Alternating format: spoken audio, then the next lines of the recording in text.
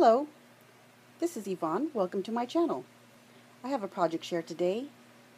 What I have here is a paper bag card. I've made this for a crafty friend as a thank you for some napkins that she gave me. She likes sunflowers.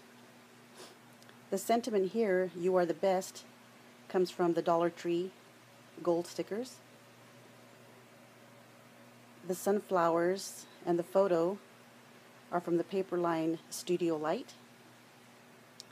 And the burlap is also from Dollar Tree. The bling is also from Dollar Tree.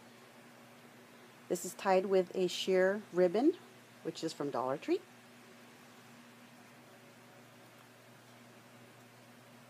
My lovely assistant is my mother. On the left side is the pocket page. The sunflowers are from the Studio Light paper line. And the smile embellishment and bling are from Dollar Tree. In the pocket is an altered tag, also from Dollar Tree, which I have covered with um, die cuts from the Studio Light paper line, and the Be Happy is from Dollar Tree.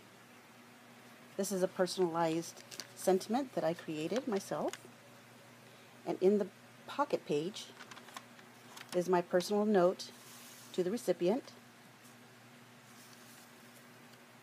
And in the second pocket is a little gift I created, which is an altered domino. This sunflower I created in Cricut Access using my Cricut Maker. I used a little bit of washi tape, the Minions, which is from Dollar Tree. This is a one-of-a-kind altered domino. And that tucks nicely into back into the pocket.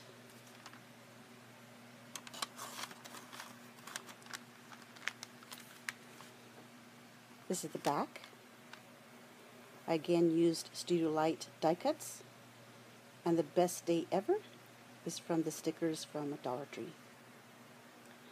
Well, thank you very much for stopping by. These paper bag cards are very addicting. I just love them because they're so versatile and you can include a personalized gift in them. Again, thank you for stopping by. Have a great day.